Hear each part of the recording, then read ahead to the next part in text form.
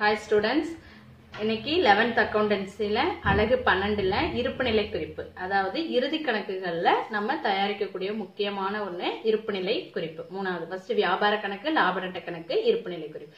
இந்த இருப்புநிலை குறிப்பு அந்நாளைய சொத்துக்கள் பொறுப்புகளுடைய என்னது இருப்பை காட்டும். அப்போ சொத்துக்கள்ங்கிறது என்ன பொறுப்புகள் அப்படிங்கிறது என்னன்னு பார்த்தோம் அப்படின்னா சொத்துக்கள்ங்கிறது நம்மளுடைய இது ஏதாவது என்னது நிலை சொத்துக்கள் நடப்பு சொத்துக்கள் நம்மளுடைய இதுதான் வந்து சொத்துக்கள். அதே பொறுப்புகள் அப்படிங்கிறது நம்ம வெளியில கொடுக்க வேண்டிய கடன்கள். அதுதான் என்ன சொல்லுவோம் அப்படின்னா பொறுப்புகள் நமக்கு சொல்ற இல்லையா பொறுப்பு இருக்கு அப்படின்னு. இப்ப அதுதான் பொறுப்புகள் அப்படின்னு சொல்றோம். இப்ப வந்து இருப்புநிலை குறிப்போட படிவம்.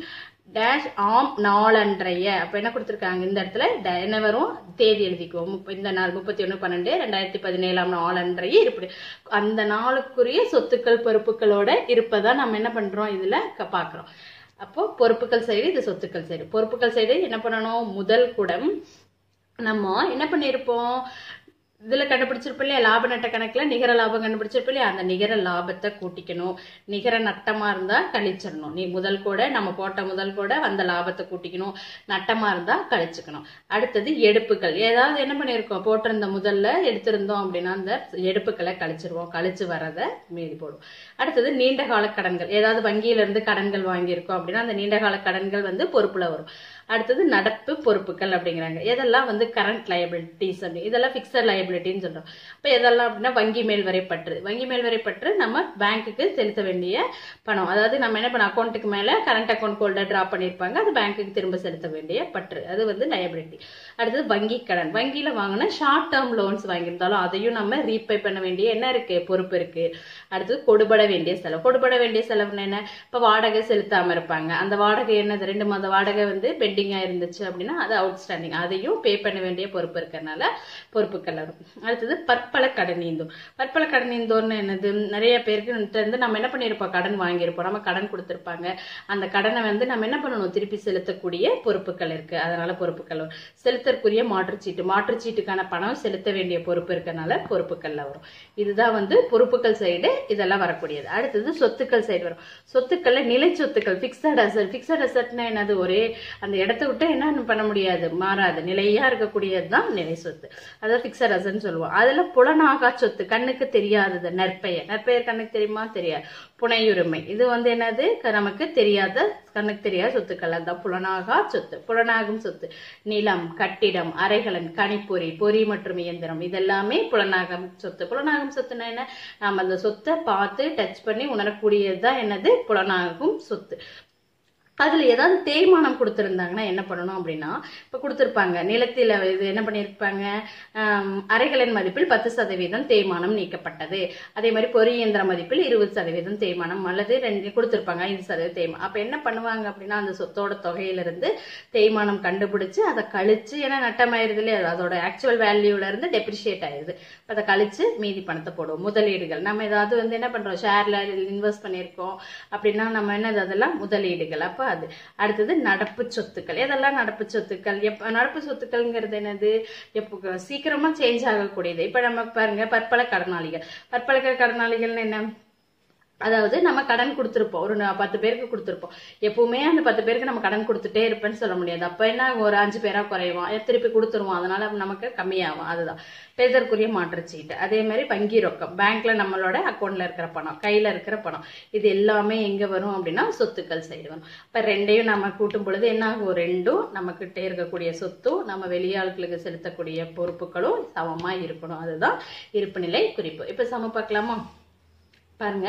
பின்வரும் விவரங்களிலிருந்து பிரகதீஷ் என்பவரின் ரெண்டாயிரத்தி பதினேழு டிசம்பர் முப்பத்தி ஒன்னாம் நாளையே இருப்பு நிலை குறிப்பு தயாரிக்க அவங்களே கொடுத்துருக்காங்க இல்லையா?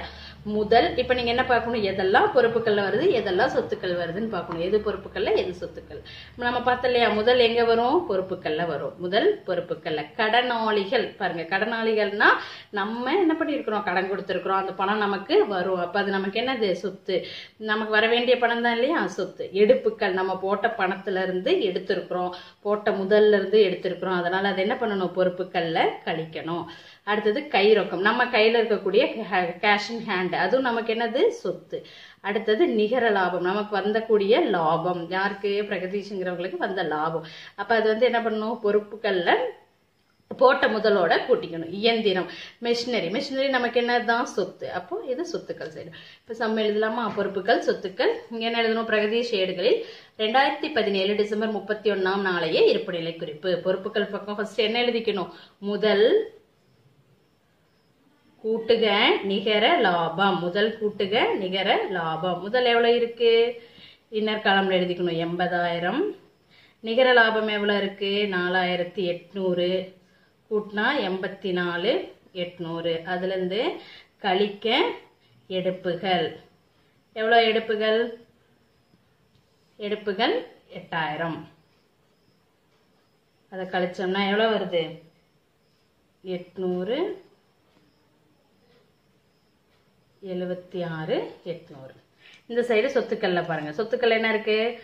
இயந்திரம் இருக்கு. நிலை சொத்துக்கள் எடுத்துட்டு எழுதிட்டு அப்புறம் நடப்பு சொத்துக்கள் எழுதுங்க. இயந்திரம் எவ்வளவு இருக்கு? இயந்திரம் நாற்பத்தி மூணு இரநூறு. அடுத்தது இரநூறு. அடுத்தது கடனாளிகள். கடனாளிகள் எவ்வளோ இருக்காங்க? டெட்டார்ஸ் அப்படின்னு சொல்லுவோம் இல்லையா இங்கிலீஷில்? அதுதான் கடனாளிகள். அடுத்தது கை ரொக்கம் நம்ம கையில் இருக்கக்கூடிய கேஷ் இன் ஹேண்டு நம்ம கையில் இருக்கிற பணமாக இருந்தாலும் சரி பேங்க்ல இருக்கிற பணமாக இருந்தாலும் சரி அது நமக்கு வந்து என்னது? சொத்து. கை ரொக்கம் எவ்வளோ?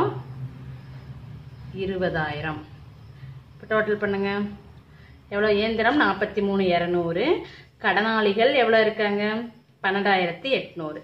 கை கைரக்க கை எவ்வளோ எழுதியிருக்கோம். இருபதாயிரம் ரூபா வந்திருக்கு இல்லையா? இப்போ இப்போ எடுப்புகள் இந்த இடத்துல என்ன பண்ணியிருக்கிறோம்? எட்டாயிரத்தி எட்நூறு. ஓகேவா அப்போ எழுபத்தி ஆறாயிரம் தான். சாரி இது எட்டாயிரத்தி எட்நூறு. இப்போ பாருங்க முதல் எவ்வளோ? எண்பதாயிரம். நிகர லாபம் நாலாயிரத்தி எட்நூறு. கூட்டினா எண்பத்தி நாலு எட்நூறு. எடுப்புகள் எட்டாயிரத்தி எட்நூறு. கழிச்சோம் அப்படின்னா எவ்வளோ வரும்? எழுபத்தி ஆறாயிரம். இப்போ டோட்டல் பண்ணுங்க. இந்த சைடோட டோட்டல் எவ்வளோ வருது? ஜீரோ ஜீரோ ஒன்று ஆறு எழுபத்தி ஆறாயிரம். பொறுப்புகள் சைடு டோட்டல் எவ்வளோ? எழுபத்தி ஆறாயிரம். ரெண்டு சைடு என்னவா இருக்கு? ஈக்குவலாக இருக்கு இல்லையா? இதுதான் இருப்புநிலை குறிப்பு. இருப்புநிலை குறிப்பு மட்டும் கேட்குது எப்படி வியாபார கணக்கு மட்டும் தனியாக பார்த்தோம் லாப நட்ட கணக்கு மட்டும் தனியாக பார்த்தோமோ அது மாதிரி இருப்புநிலை குறிப்பு மட்டும் தனியாக பார்க்குறோம். ஃபைனல் அக்கௌண்ட்ஸில் என்னது? உங்களுக்கு இதில் த்ரீ மார்க்ஸில் நம்ம கேட்பாங்க. அதே ஃபைவ் மார்க்கில் வரும்போது என்ன பண்ணுவாங்க? மூணுமே சேர்ந்து கொடுக்குற மாதிரி கேட்பாங்க. வியாபார கணக்கு தயாரித்து அதில் வர லாபத்தை லாப நட்ட கணக்குக்கு மாற்றி அதில் வர்றதை என்ன பண்ணுவாங்க? இருப்புநிலை குறிப்புக்கு மாற்றி மூணும் போடுறது சொல்லுவாங்க. ஓகேவா தேங்க்யூ